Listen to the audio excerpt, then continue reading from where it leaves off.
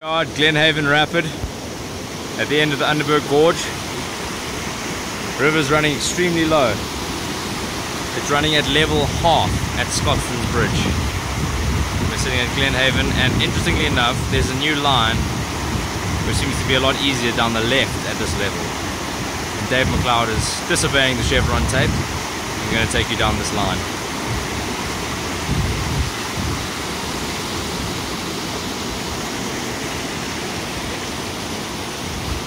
Excellent is how Charles Houston described that line.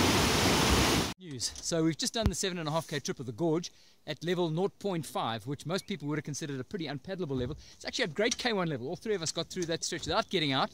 And more importantly, it was heaps of fun. The water was clean and it was the same old valley that we've grown to love. So 0.5, certainly in a K1, is very doable.